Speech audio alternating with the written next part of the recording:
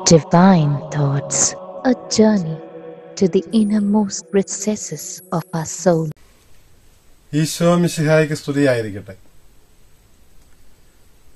ഉദ്ധിതനായ ഈശോ തന്റെ ശിഷ്യന്മാർക്ക് പ്രത്യക്ഷപ്പെടുമ്പോൾ അവരെ ഏൽപ്പിച്ചിരുന്ന പ്രധാനമായ ദൗത്യം താൻ പ്രഘോഷിച്ച സുവിശേഷം ദൈവരാജ്യത്തിന്റെ സുവിശേഷം എല്ലാവരോടും പ്രഘോഷിക്കുക എന്നുള്ളതായിരുന്നു.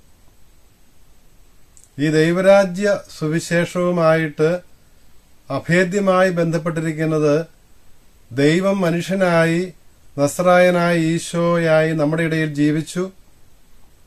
സഹനമരണ ഉത്ഥാനങ്ങളിലൂടെ അവൻ നമ്മുടെ രക്ഷ സാധിച്ചു. ഉദ്ധിതനായ മിശിഹ ഇന്നും നമ്മോട് ഉണ്ട് എന്നുള്ള സത്യം അങ്ങനെ നമ്മുടെ കൂടെയായിരുന്നുകൊണ്ട് അവിടുന്ന് ഈ ലോകത്തെ ഭരിക്കുന്നു നയിക്കുന്നു.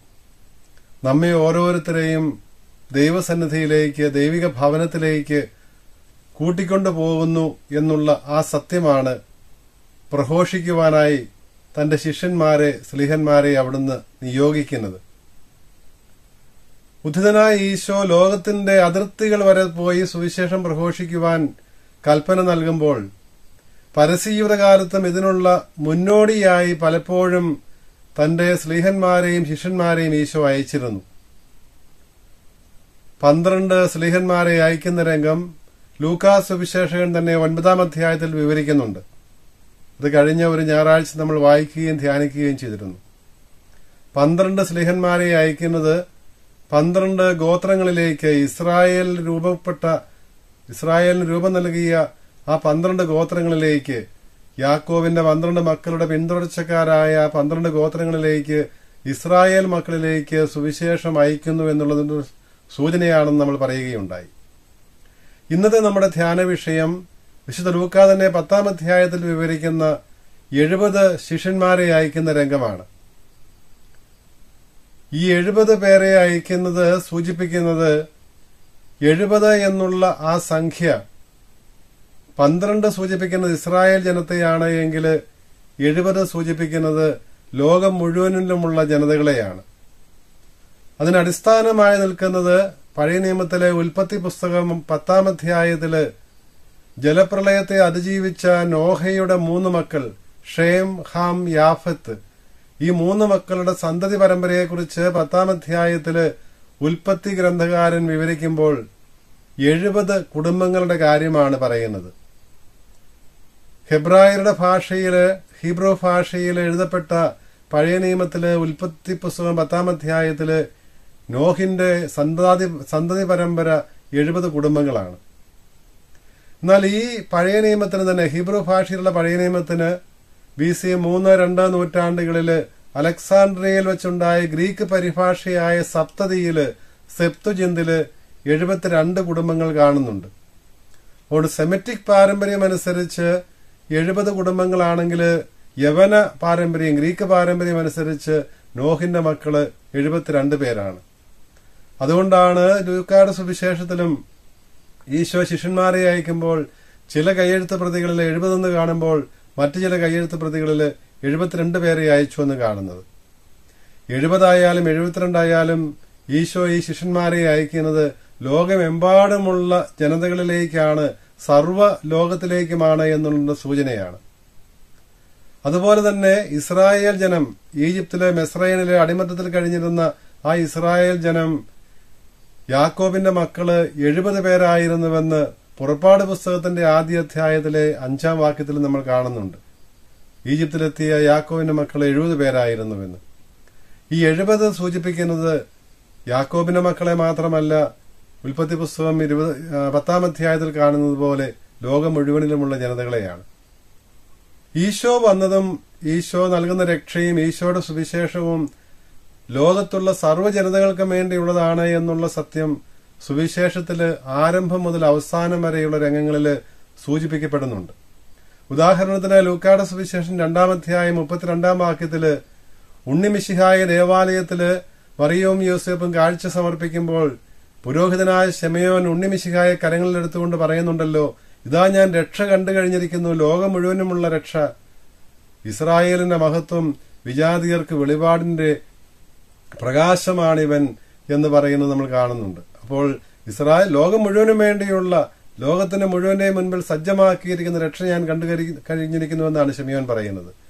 അത് അതിന്റെ രണ്ട് ഭാഗങ്ങൾ തുല്യഭാഗങ്ങളായിട്ട് ഇസ്രായേലിനുള്ള മഹത്വമായിട്ടും വിജാതിയർക്ക് ജനതകൾക്കുള്ള വെളിപാടിന്റെ പ്രകാശമായിട്ടുമാണ് ഈശോയെ അവിടെ ശമയോൻ ദീർഘദർശി അവതരിപ്പിക്കുന്നത്. അതുപോലെ തന്നെ ഉദ്ധതനായ മിശിഹ ശിഷ്യന്മാരെ അയക്കുമ്പോൾ ഇരുപത്തിനാലാം അധ്യായം നാൽപ്പത്തിയേഴാം വാക്യത്തിൽ മരിച്ചുയർത്ത ഈശോയുടെ നാമത്തിൽ പാപമോചനമാകുന്ന രക്ഷ പ്രഘോഷിക്കേണ്ടത് ഓർസലമിൽ ആരംഭിച്ച് ലോകത്തിന്റെ എല്ലാ ഭാഗങ്ങളിലേക്കുമാണ് എന്ന് ഉദ്ധിതനായ മിശിഹ പറയുന്നത് നമ്മൾ കേൾക്കുന്നുമുണ്ടല്ലോ. ദൈവരാജ്യത്തിന്റെ സുവിശേഷം സകല ജനതകളോടും പ്രഘോഷിക്കുക എന്നുള്ള ഈ ബൃഹത്തായ ദൗത്യം പന്ത്രണ്ട് സ്ലിഹന്മാർക്ക് മാത്രമായി തനിയെ പൂർത്തിയാക്കുക എളുപ്പമല്ല എന്നുള്ളത് കൊണ്ട് തന്നെയാണ് അവർക്ക് സഹായികളായിട്ട് എഴുപത് പേരെ കൂടി ഈശോ തന്റെ പരസ്യജീവിത കാലത്ത് തന്നെ അയക്കുന്നത് നമ്മൾ കാണുന്നത്. ഇപ്രകാരം ദൈവം തിരഞ്ഞെടുക്കുന്ന നേതാക്കന്മാർക്ക് സഹായികളായിട്ട് പഴയ നിയമകാലത്തും അവിടുന്ന് ആൾക്കാരെ നിയമിക്കുന്നത് നമ്മൾ കാണുന്നുണ്ട്. പഴയ നിയമത്തിലെ ആദ്യത്തെ വായനയിൽ പുറപ്പാട് പുസ്തകം നാലാം അധ്യായത്തിൽ ഇസ്രായേൽ ജനതയെ വിമോചിപ്പിക്കുവാനായിട്ട് ദൈവം നിയോഗിച്ച മോശയ്ക്ക് സഹായിയായിട്ട് അഹ്റോനെ നൽകുന്നത് കാണാം. അതുപോലെ തന്നെ രണ്ടാമത്തെ വായനയിൽ തോപത്തിന്റെ പുസ്തകം അഞ്ചാം അധ്യായത്തിലെ ആദ്യവാക്യങ്ങളിൽ ദൌത്യ നിർവഹണത്തിനായി തോബിത്ത് തോബിയാസിനെ അയക്കുമ്പോൾ സഹായകനായിട്ട് ദൈവദൂതനെ റഫായേലിനെ കണ്ടുപിടിക്കുന്നത് നമ്മൾ കാണുന്നുണ്ട്. ഇതിന്റെ എല്ലാം പൂർത്തീകരണം എന്നോണമാണ് സ്ലീഹന്മാർക്ക് സഹായികളായിട്ട് സുവിശേഷ പ്രഘോഷണത്തിൽ പന്ത്രണ്ട് സ്ലീഹന്മാർക്ക് സഹായികളായിട്ട് എഴുപത് പേരെ ഈശോ നിയോഗിച്ച് അയക്കുന്നത്. എല്ലാ കാലത്തും സഭയിലെ സുവിശേഷ പ്രഘോഷണ ദൗത്യം അത് സ്ലീഹന്മാർ പ്രതിനിധാനം ചെയ്യുന്ന ആ ശ്ലൈഹിക വൃന്ദത്തിന് മാത്രമുള്ളതല്ല മറിച്ച് വിശ്വസിക്കുന്നവർക്കെല്ലാം ഈ ദൗത്യത്തിൽ പങ്കുണ്ട്. നമ്മളെല്ലാവരും ഈ സുവിശേഷം പ്രഘോഷിക്കുവാൻ കടപ്പെട്ടവരാണ് എന്നുള്ള ആ സത്യം കൂടിയാണ് ഈ രണ്ടാമത്തെ അയക്കൽ സൂചിപ്പിക്കുന്നത്. ഈശോ അയക്കുന്നത് സുവിശേഷകൻ പത്താം അധ്യായത്തിലെ ലൂക്ക പറയുന്നുണ്ടല്ലോ താൻ പോകുവാനിരുന്ന സ്ഥലങ്ങളിലേക്ക് ഈ രണ്ട് പേരായിട്ട് അവരെ അയക്കുകയാണ്. കൂട്ടായ സാക്ഷ്യത്തിനാണ് തനിച്ചല്ല അയക്കുന്നത് ഈ രണ്ടു പേരെയാണ് ഈശോ അയക്കുന്നത്. കൂട്ടായ സാക്ഷ്യം രണ്ടുപേരുടെ സാക്ഷ്യം സത്യമാണ് എന്ന് എല്ലാ സംസ്കാരങ്ങളിലും അംഗീകരിക്കപ്പെട്ടുള്ള തത്വമാണ് നിയമാവർത്തന പുസ്തകത്തിലും നമ്മളത് കാണുന്നുണ്ട്. രണ്ടുപേരെ അയക്കുന്നത് അവർക്ക് പരസ്പര സഹായമാകും അതുപോലെ തന്നെ പ്രഘോഷിക്കുന്ന വിഷയത്തിന്റെ സത്യാവസ്ഥ വിശ്വസനീയത കേൾവിക്കാർക്ക് ബോധ്യമാകുവാൻ വേണ്ടിയുമാണ്. വിളവിന്റെ നാഥനോട് യാത്ര പുറപ്പെടുന്നതിന് മുൻപ് തന്നെ വിളവിന്റെ നാഥനോട് പ്രാർത്ഥിക്കുവാനായി ഈശോ പറയുന്നത് നമുക്ക് കേൾക്കാം. വിളവിന്റെ നാഥൻ ദൈവമാണ്. ഈ വിളഭൂമി ഈ ലോകമാണ്. ഈ ലോകത്തിലെ മനുഷ്യരാണ് ഈ വിളവ്. ഇത് ശേഖരിക്കുവാനായിട്ടാണ് ഈശോ ഈശോ ശിഷ്യന്മാരെ അയക്കുന്നത്. ഇന്ന് നമ്മെ അയക്കുന്നതും ലോകത്തിലുള്ള സകല മനുഷ്യരെയും ദൈവിക ഛായയിൽ സൃഷ്ടിക്കപ്പെട്ടിരിക്കുന്ന സകല മനുഷ്യരെയും ഈ സുവിശേഷം അറിയിക്കുവാൻ വേണ്ടിയിട്ടാണ്. അപ്പോൾ ഈ വിളവ് സമൃദ്ധമായ വിളവുണ്ട്. ഈ വിളവിലേക്ക് വേലക്കാരെ അയക്കുവാൻ പ്രാർത്ഥിക്കുവാനായിട്ട് ഈശോ ശിഷ്യന്മാരെ നിർദ്ദേശിക്കുന്നുണ്ട്. നമ്മളും പ്രാർത്ഥിക്കേണ്ടതുണ്ട്. നമുക്ക് എല്ലാവർക്കും ഈ ഉത്തരവാദിത്വം ഉണ്ടെങ്കിലും സവിശേഷമാമിതം ജീവിതം മുഴുവനും പൂർണമായിട്ട് സുവിശേഷ പ്രഘോഷണത്തിന് വേണ്ടി ഒഴിഞ്ഞു വെക്കുന്നവരെ എല്ലാ കാലത്തും ആവശ്യമുണ്ട്. അതാണല്ലോ സമർപ്പിത ജീവിതത്തിലേക്കും പൗരോഹിത്യത്തിലേക്കുമൊക്കെയുള്ള ദൈവവിളികളിലൂടെ ദൈവം സാധിക്കുന്നത്. ഇപ്രകാരമുള്ള ദൈവവിളികൾ ഉണ്ടാകുവാൻ വേണ്ടി വിശ്വാസികളായ നാം ഓരോരുത്തരും പ്രാർത്ഥിക്കേണ്ടതുണ്ട് എന്ന് ഈശോ വ്യക്തമാക്കുകയാണ്. ഈശോ നമ്മെ അയക്കുന്നത് ചെന്നായ്ക്കളുടെ കുഞ്ഞാടുകളെ എന്നതുപോലെയാണ്. കുഞ്ഞാടുകളുടെ നിഷ്കളങ്കത നമുക്കുണ്ടാകണം. സർപ്പത്തിന്റെ വിവേകമുണ്ടാകണം പ്രാവിന്റെ നിഷ്കളങ്കത ഉണ്ടാകണമെന്ന് ഈശോ പറയുന്നത് അന്യത്ര നമ്മൾ കാണുന്നുണ്ടല്ലോ. അപ്പോൾ കുഞ്ഞാടിന്റെ കുഞ്ഞാടിനെ പോലെ നമ്മൾ നമ്മളെ അയക്കുകയാണ് എങ്ങോട്ടാണ് അയക്കുന്നത്? ചെന്നായ്ക്കളുടെ ഇടയിലേക്കാണ്. എത്രമാത്രം ശത്രുതാ മനോഭാവത്തോടെ ആയിരിക്കും ലോകം നമ്മളെ സ്വീകരിക്കുന്നത്? എങ്ങോട്ടുള്ള ഒരു ലോകത്തിലേക്കാണ് നമ്മെ അയക്കുന്നത് എന്നുള്ള ചിത്രം ഇവിടെ വ്യക്തമാണ്. അലക്സാണ്ട്രിയയിലെ സിറിൽ സഭാപിതാവ് പറയും ഇവിടെ നമ്മൾ ഭയപ്പെടേണ്ടതില്ല. കാരണം നമ്മൾ തനിച്ചല്ല പോകുന്നത്. കർത്താവ് കൂടെയുണ്ട്. കൂടെ ആയിരുന്നുകൊണ്ട് ചെന്നായെ തോൽപ്പിക്കുവാൻ ആ ചെന്നായ്ക്കളുടെ ഇടയിലും സുവിശേഷം പ്രഘോഷിക്കുവാൻ അവിടുന്ന് ശക്തി തരും അവിടുന്ന് നമ്മെ ബലപ്പെടുത്തുമെന്നുള്ള കാര്യമാണ് അലക്സാണ്ട്രിയയിലെ സിറിൽ സഭാപിതാവ് നമ്മെ ഓർമ്മിപ്പിക്കുന്നത്.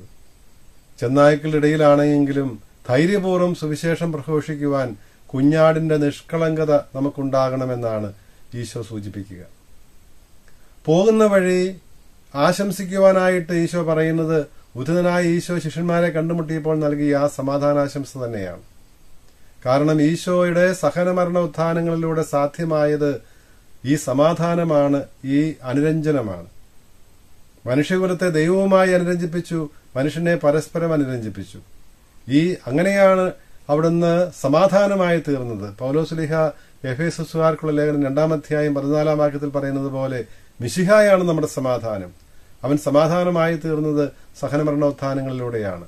ഈ സമാധാനമായി ഈശോയെ പ്രഘോഷിക്കുവാനാണ് ഈ സമാധാനം ആശംസിക്കുവാൻ പറയുമ്പോൾ ഈശോ നമ്മെ ഓർമ്മിപ്പിക്കുന്നത്. ഈശോയുടെ സുവിശേഷം ദൈവരാജ്യത്തിന്റെ സുവിശേഷം ആയുധം ഉപയോഗിച്ചല്ല യുദ്ധത്തിലൂടെയല്ല മറിച്ച് സമാധാനത്തിലൂടെയാണ് യഥാർത്ഥ സമാധാനത്തിന്റെ സന്ദേശമാണ് സുവിശേഷമാണ് വിശ്വാസമാണ് ഈശോയുടേതെന്ന് നമ്മെ ഓർമ്മിപ്പിക്കുകയാണ്. നാം ആശംസിക്കുന്ന സമാധാനത്തിന് യോഗ്യരായിട്ട് കേൾവിക്കാരിൽ അവരുണ്ടെങ്കിൽ അവരുടെ ഭവനങ്ങളിൽ ആ സമാധാനം വസിക്കും അവരുടെ ഹൃദയങ്ങളിൽ ആ സമാധാനം സ്വീകരിക്കപ്പെടുമെന്ന് ഈശോ പറയുന്നു. ഇല്ലെങ്കിൽ നിങ്ങളിലേക്ക് തന്നെ മടങ്ങിപ്പോരട്ടെ. അപ്പോൾ അതിന്റെ സൂചനയായിട്ട് ആരെങ്കിലും നിങ്ങളെ സ്വീകരിക്കാതിരുന്നാൽ ആ ഗ്രാമത്തിൽ നിന്ന് പോരുമ്പോൾ ആ പട്ടണത്തിൽ നിന്ന് പോരുമ്പോൾ കാലിലെ പൊടി കൂടി തട്ടിക്കളയുവാൻ ഈശോ നമ്മോട് പറയുന്നുണ്ട് ശിഷ്യന്മാരോട് പറയുന്നുണ്ട്. പ്രഘോഷിക്കേണ്ടത് ദൈവരാജ്യം ഇതൊക്കെയാണെങ്കിലും അവർ സ്വീകരിച്ചില്ല എങ്കിലും ഒരു സത്യം അറിഞ്ഞുകൊള്ള നിങ്ങൾ ദൈവരാജ്യം സമീപിച്ചിരിക്കുന്നു വന്നു കഴിഞ്ഞിരിക്കുന്നു ഈശോയിൽ ദൈവരാജ്യം വന്നു. ഈശോയിൽ ദൈവം ഭരിക്കുവാൻ ആരംഭിച്ചു ഈ ലോകത്തിന്റെ മേൽ നവീനമായ രീതിയിൽ അവിടുന്ന് ഭരണം നടത്തുന്നു. സ്നേഹത്തിന്റെ ഭരണം നടത്തുന്നു എന്നുള്ള ആ സുവിശേഷം. ഈ സുവിശേഷം പ്രഘോഷിക്കുന്നത് പന്തകുസ്ത മുതൽ ശ്രീഹന്മാരുടെ പ്രഘോഷണത്തെക്കുറിച്ച് നടപടി പുസ്തകത്തിൽ നമ്മൾ കാണുന്നുണ്ട്. പുതിയ നിയമത്തിലെ ആദ്യത്തെ വായന സ്ലിഹന്മാരുടെ നടപടി പതിമൂന്നാം അധ്യായത്തിലെ പന്ത്രണ്ടാം അധ്യായത്തിന്റെ അവസാന വാക്യവും പതിമൂന്നാം അധ്യായത്തിലെ ആദ്യ വാക്യങ്ങളുമാണല്ലോ. ഇവിടെ നമ്മൾ കാണുന്നത് ജെറൂസലമിലെ സഭ വളരുന്നത് കാണുന്നുണ്ട്. അതിനുശേഷം അന്ത്യോക്യ കേന്ദ്രീകരിച്ച് ദൈവജനം പ്രചരിക്കുന്നതാണ്. അവിടെ പ്രവാചകന്മാരും പ്രബോധകന്മാരും ധാരാളമായ സഭയിലുണ്ടായിരുന്നുവെന്ന് നടപടി ഗ്രന്ഥകാരൻ രേഖപ്പെടുത്തുന്നുണ്ട്. പ്രവാചകൻ ദൈവത്തിന് വേണ്ടി സംസാരിക്കുന്നവനാണ്. അത് പഴയ നിയമത്തിൽ സംസാരിച്ചവരാണെങ്കിലും പുതിയ നിയമത്തിൽ മിശിഹായ്ക്ക് വേണ്ടി ദൈവമായ ഈശോയ്ക്ക് വേണ്ടി സംസാരിക്കുന്ന പന്ത്രണ്ട് സ്ലിഹന്മാരാണെങ്കിലും എഴുപത് ശിഷ്യന്മാരാണെങ്കിലും എല്ലാം അവരെല്ലാം പ്രവാചകന്മാരാണ്. പ്രവാചകൻ ദൈവത്തിന്റെ സ്വരമാണ്. ദൈവത്തിന് വേണ്ടി സംസാരിക്കുന്നവരാണ്. പുതിയ നിയമത്തിൽ ദൈവം ഈശോയാണ്. ഈശോയ്ക്ക് വേണ്ടി ഈശോയുടെ സുവിശേഷം പ്രഘോഷിക്കുന്നവരാണ്. അവർ കൂടുതലായിട്ടും അവർക്ക് സഹായകരായിട്ട് പ്രബോധകരുണ്ട്. അവർ പ്രഘോഷിക്കുന്ന ഈ സുവിശേഷം വ്യാഖ്യാനിച്ച് അതിന്റെ പ്രായോഗികമായ തലമെന്തെന്ന് വ്യക്തമാക്കി കൊടുക്കുന്ന പ്രബോധകരെ എല്ലാ കാലത്തും സഭയിൽ ദൈവം നൽകുന്നുണ്ട്. അങ്ങനെ പ്രവാചകന്മാരിലൂടെയും പ്രബോധകരിലൂടെയുമാണ് സഭ വളരുന്നത് സുവിശേഷം വളരുന്നത് നമുക്ക് കാണാം.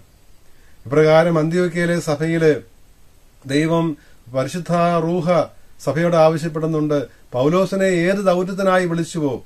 വിളിച്ച ദൗത്യം എന്താണ് എന്ന് ഒൻപതാം അധ്യായത്തിൽ പതിനഞ്ചും പതിനാറും വാക്യങ്ങൾ നടപടി ഗ്രന്ഥകാരൻ തന്നെ സൂചിപ്പിച്ചിരുന്നു. ഡെമാസ്കസിലേക്കുള്ള മാർഗമധ്യയുള്ള ആ അനുഭവത്തിൽ വഴിയിൽ വെച്ചുള്ള ആ കണ്ടുമുട്ടലിൽ അവിടെ വെച്ച് കണ്ണു തുറന്നു കിട്ടുമ്പോൾ പൗലോസിനെ വിളിച്ചത് പറയുന്നുണ്ട്. ജനതകളുടെ മുൻപിൽ സുവിശേഷം അറിയിക്കുവാനാണ്. ജനതകളുടെ സ്ലീഹായായിട്ടാണ് പൗലോസിനെ ദൈവം വിളിച്ചത്. അപ്പോൾ എന്ത് ദൗത്യത്തിന് വേണ്ടി വിളിച്ചുവോ ആ ദൗത്യത്തിന് വേണ്ടി ഇവരെ മാറ്റി നിർത്താൻ പറയുകയാണ്. അവിടെയും പൗലോസ് മാത്രമല്ലെന്ന് നമുക്ക് കാണാൻ സാധിക്കും. ഭരണബാസ് ഉണ്ട് നീഗറുണ്ട് മനായനുണ്ട്. അങ്ങനെ പല ശിഷ്യന്മാരും ചേർന്ന ഒരു സംഘമായിട്ടാണ് ആദ്യത്തെ പ്രേക്ഷിത യാത്ര നടപടി പുസ്തകം പതിമൂന്നാം അധ്യായത്തിൽ പൗലോസ് ആരംഭിക്കുന്നത്.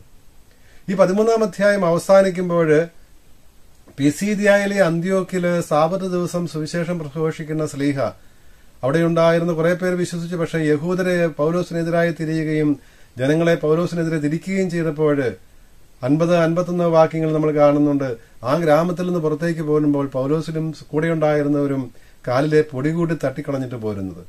ഈശോ പറഞ്ഞായിരുന്നു ശിഷ്യന്മാരെ അയച്ചപ്പോൾ നിങ്ങൾ ആരെ നിങ്ങളെ ആരെങ്കിലും സ്വീകരിക്കാതിരുന്നാൽ ആ പട്ടണം വിട്ടു പോരുമ്പോൾ കാലിലെ പൊടി കൂടി തട്ടിക്കളയുമെന്ന്. അതായത് ഇനി നിങ്ങൾക്ക് അവരുമായി യാതൊരു ബന്ധവും വേണ്ട എന്നാണ് ഈശോ ഉദ്ദേശിച്ചത്.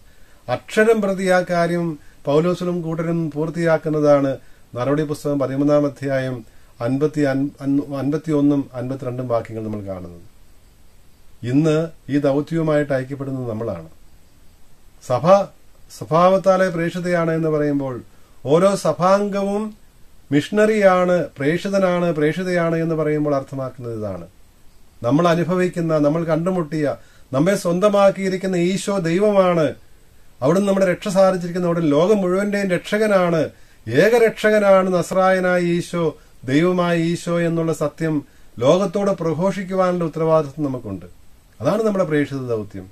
നമ്മുടെ ജീവിതം കൊണ്ട് നമ്മുടെ ജീവിത സാക്ഷ്യം കൊണ്ട് ഈശോയ്ക്ക് ഈശോയുടെ സുവിശേഷം പ്രഘോഷിക്കുവാൻ ദൈവരാജ്യത്തിന്റെ സുവിശേഷം പ്രഘോഷിക്കുവാൻ ദൈവരാജ്യം ഈ ഭൂമിയിൽ സ്ഥാപിക്കുവാൻ അതിനുള്ള ഉത്തരവാദിത്വം നമുക്കുണ്ട്. അതിനുള്ള ശക്തി നമുക്ക് നൽകണമേ. കൂടെയായിരുന്നുകൊണ്ട് ശക്തിപ്പെടുത്തണമേ എന്ന് പ്രാർത്ഥിക്കാം. ദൈവം അനുഗ്രഹിക്കട്ടെ.